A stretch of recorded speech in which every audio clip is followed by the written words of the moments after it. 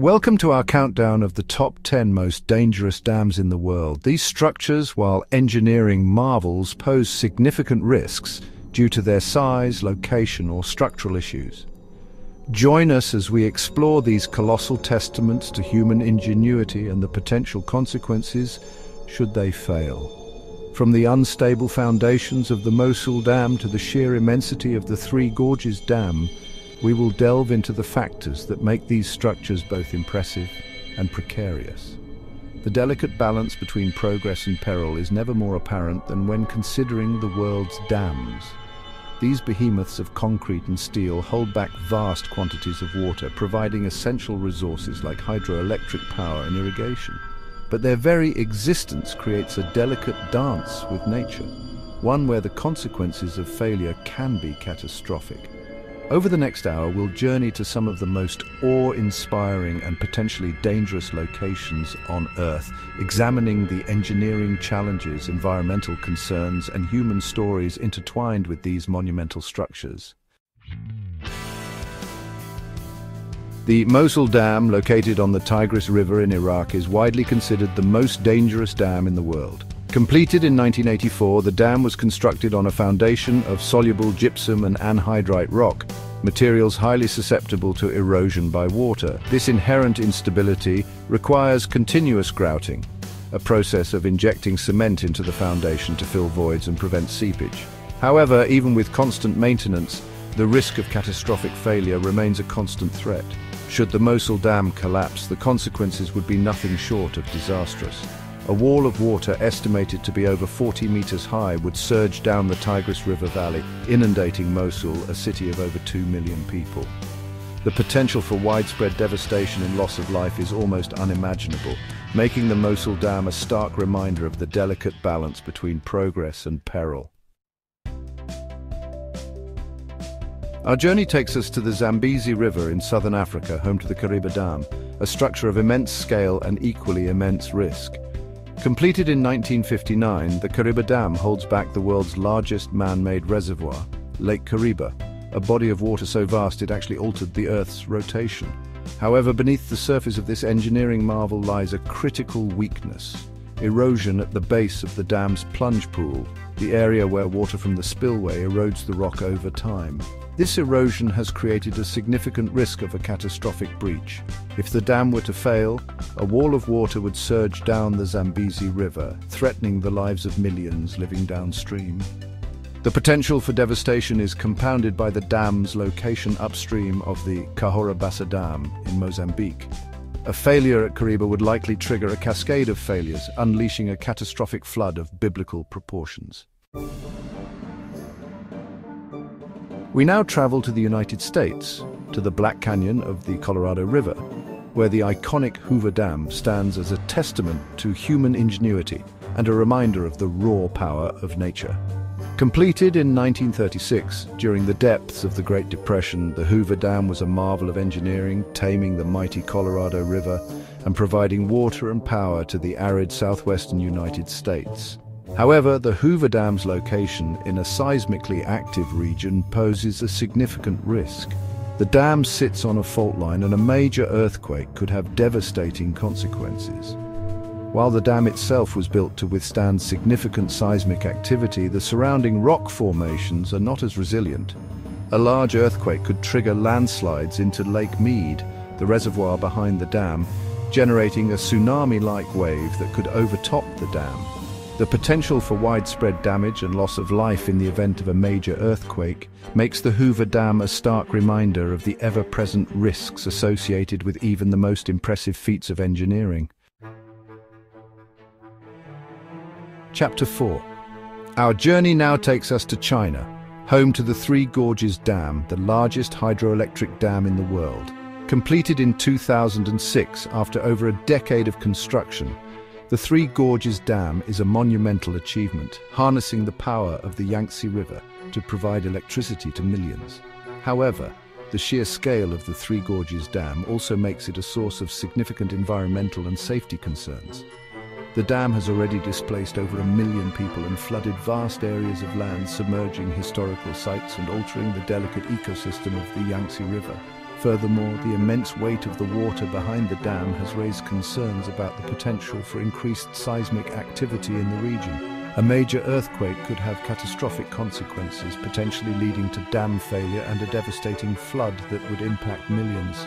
The Three Gorges Dam stands as a stark reminder of the delicate balance between progress and the environment and the potential risks associated with mega projects of this scale. Chapter 5 we return to the United States, this time to the Colorado Plateau, where Glen Canyon Dam holds back the Colorado River, creating the artificial marvel known as Lake Powell. Completed in 1966, Glen Canyon Dam was a key component of the Colorado River Storage Project, providing water and power to the American Southwest. However, the dam's construction and operation have had significant environmental impacts, altering the flow of the Colorado River and impacting downstream ecosystems. Beyond its environmental consequences, Glen Canyon Dam also faces structural concerns. The dam's concrete has been subject to cracking, a result of the alkali silica reaction, a chemical process that can weaken concrete over time. While the Bureau of Reclamation has taken steps to address the cracking, concerns about the dam's long-term integrity remain. A major earthquake or other catastrophic event could have devastating consequences, potentially leading to dam failure and a massive flood that would inundate communities and ecosystems downstream. Glen Canyon Dam stands as a reminder of the complex challenges associated with managing water resources in the 21st century and the potential consequences of human intervention in the natural world. Chapter 6 our journey takes us to California, home to the Oroville Dam, the tallest dam in the United States. Completed in 1968, the Oroville Dam is a vital source of water and power for California, but in 2017, it became a stark reminder of the potential dangers posed by aging infrastructure. During a period of heavy rainfall, the dam's main spillway suffered a catastrophic failure, creating a massive crater in the concrete and forcing the emergency use of the dam's emergency spillway. However, the emergency spillway had never been used before and erosion quickly threatened to undermine the spillway, potentially leading to a catastrophic dam failure. Over 180,000 people downstream were evacuated as engineers raced to stabilize the situation.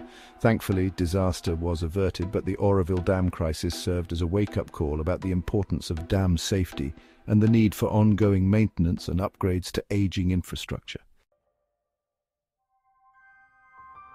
Our journey now takes us to the Italian Alps, to the site of the Vajont Dam, a structure forever etched in history as a symbol of the devastating consequences of human hubris and engineering oversights. Completed in 1960, the Vajont Dam was a marvel of engineering, soaring over 850 feet above the valley floor. However, the dam's location, nestled between steep mountainsides prone to landslides, would prove to be its undoing. Despite warnings from geologists about the instability of the surrounding slopes, construction of the dam proceeded, and the reservoir behind the dam, Lake Vajont, was filled.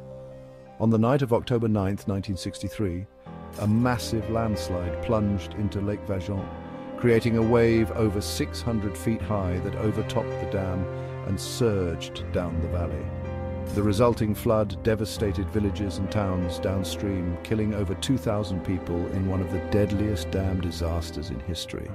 The Vajont Dam disaster stands as a chilling reminder of the importance of heeding scientific warnings and the potential consequences of ignoring the power of nature.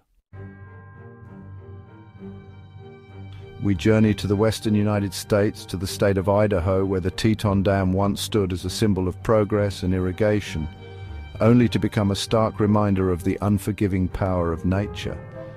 Completed in 1975, the Teton Dam was an earthen dam designed to hold back the waters of the Teton River and provide irrigation for agriculture. However, the dam's design and construction would prove to be fatally flawed. On June 5, 1976, just months after the reservoir behind the dam was filled, a leak was discovered in the dam structure.